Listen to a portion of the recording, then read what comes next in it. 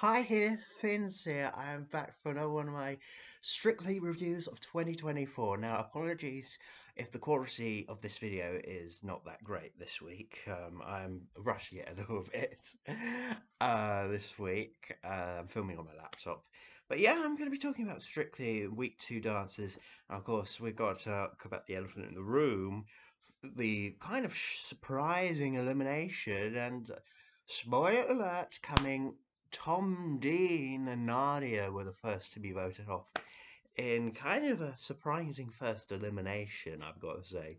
So, yeah, I mean, there's been a lot of headlines this week about Strictly um, this series, let's say, um, about Tom and Nadiya's elimination. And then there's been these fixed claims about it. Um, but yeah, I am surprised Tom and Nadiya went out first, I've got to say. I was one of the people that was surprised about their eliminations. If that they got eliminated first, I was kind of surprised about.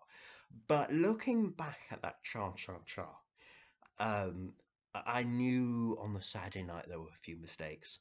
I think he had to go on first. I think he had a bit of a few nerves. I think he had kind of maybe went a bit blank sometimes. And I think he made a few mistakes. I think, yeah, I it just the timing was a bit off um, as well in the dance off. So yeah, I mean, I can understand why they voted him off when you digest it a little bit. Uh, the timing was off, and it was not the best cha cha cha in the world. And that being said, I don't think he was the worst on Saturday night. Um, you know, I wouldn't even say Toyah and Neil were the worst on Saturday night. I would say Paul and Karen really should have been the first to be voted off, in my opinion. If we were judging it on dance wise, I think their salsa was it was less strictly come dancing, more strictly come walking. I mean, just walking around for the next move. It he had no rhythm. I'm sorry. And then he got offended by a comment Craig said about taking so many drink, you were dancing like you drank a lot, and then he was offended by him not drinking for so many years. I, I just like okay, okay, okay. Um, but I, I guess people love that. I guess people vote for something like that. The the, the, novelty act, you know, I guess, you know, that's what people do warm to, I guess. Uh, a bit of comedy on Strictly.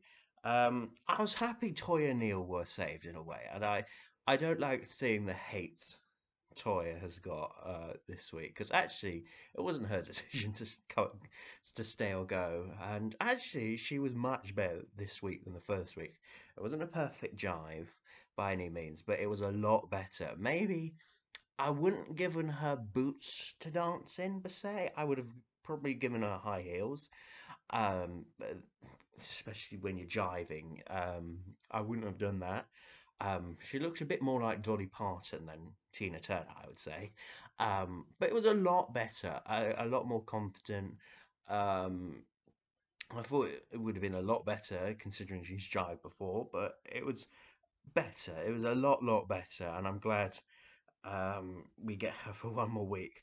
A bit worried about next week's dance though. A slow samba. Mm, um, that will be interesting. Um, but yeah, I mean, yeah, overall, yeah, I mean, we also had other. I won't go through every single couple now because it's long. I'm I'm not um I'm gonna go through all of them, and I'm not. I'm, gonna try and get through most of them.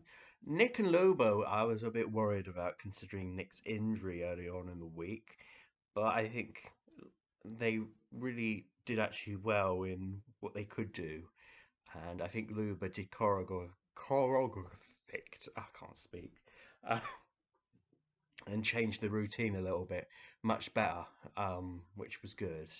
Um, I thought actually winning Katya, actually that was a nice Viennese waltz. Nice classical music, using a bit of the stairs. It was nice. It it kind of proves Wynne doesn't always have to play the comedy card every time, or the joke card, or whatever you call it uh, every week, even though there was this silly thing with him being in the orchestra, pretending to be part of the orchestra. yeah, that, that's just Wynne being Wynne trying to be funny. We didn't need that. But for the, the dance itself, he's actually a really good dancer. I'm actually quite surprised. Um, we had the first rumba um, in on week two for the first time since 2009. Jamie and Michelle did a rumba, which I was really surprised they did a rumba so early. But I think Michelle wanted to get out of the way. That's the thing. I think that's what happened. She wants to get the rumba out of the way um, as early as she could, and that could be actually good. You know, because you don't really want to do a rumba semis, do you? Really, or quarter final. So that might be a good move from Michelle. Um, yeah, doing a rumba in jeans. That's interesting. But it was not bad. For a male celebrity, it wasn't too bad. Rumba, I guess, from Jamie. I see potential in him. Um, yeah, and Sarah and Vito's Paso was really good. And yeah, I like that close the show as well. Just so dramatic and that. And who else? Tasha and Aljaž top the judges leaderboard. Lovely Viennese waltz. Beautiful. I think I'm really warming to those two, Tash and Aljaž. And yeah, and then you had like Shayne and Nancy do a tango straight afterwards. So the running order hurt them a little bit last week, coming on after t- the moment that was Tash and Aljaž. um, and then this the, the whole VT about oh Shayne was getting a lot of backlash and a lot of bad comments online about him looking arrogant or having a big ego or whatever he said.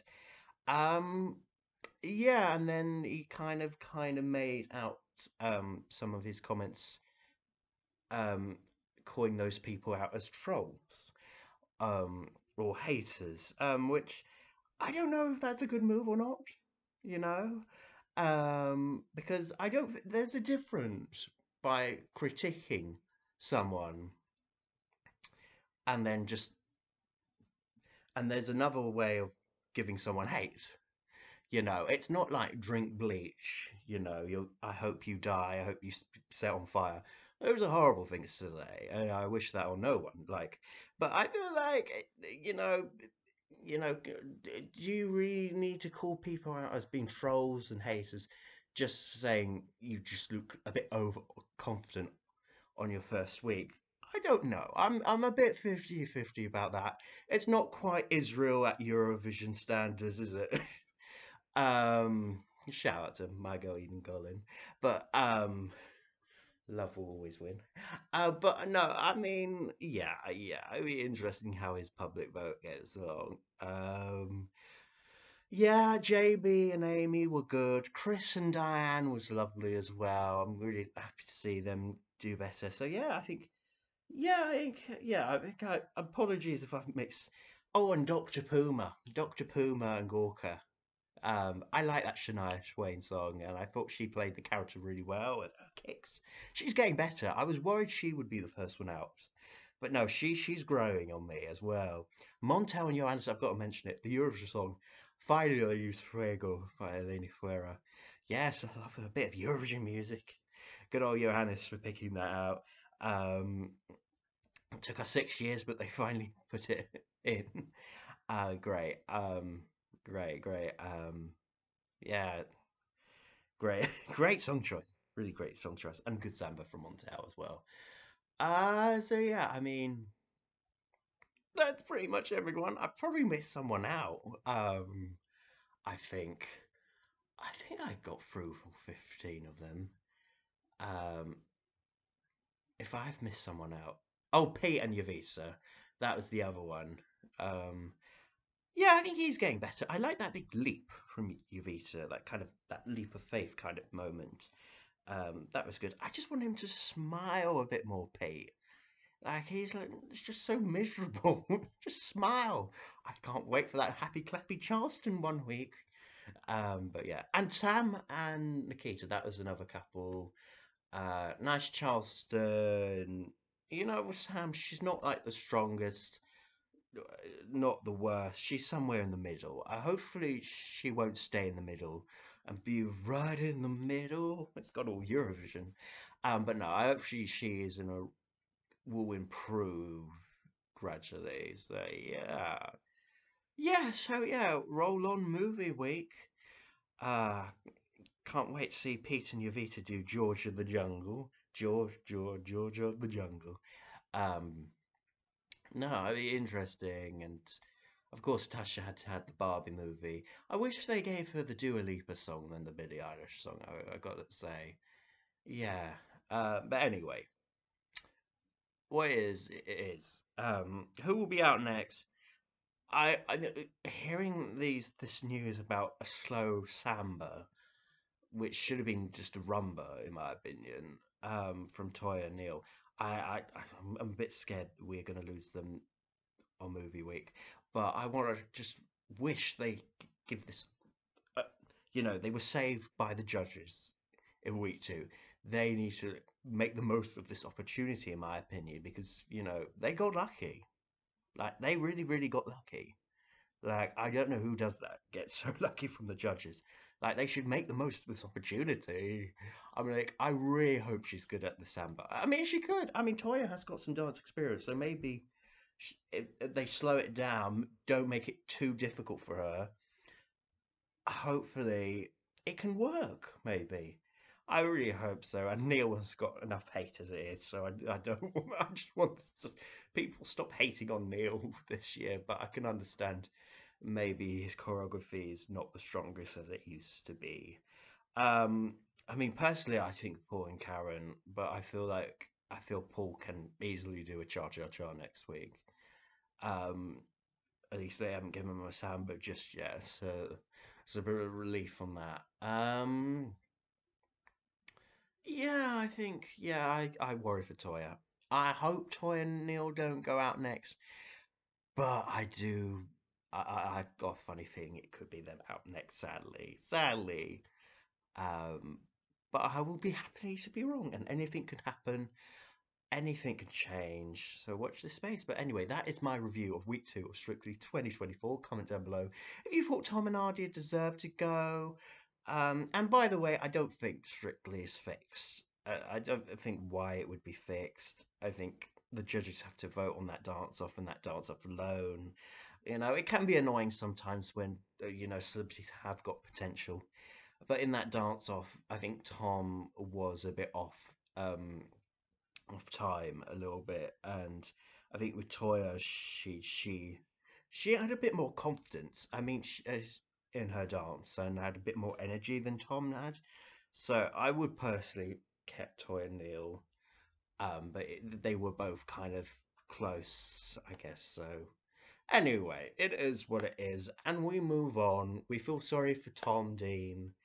Uh, you know, I hope they do an all-star series of Strictly one series, and he will be invited back. Um, and I hope the best in his swimming career. But anyway, comment down below in the comment section below, like and subscribe this video, and I'll be back for more content very soon. So then, goodbye, people, goodbye.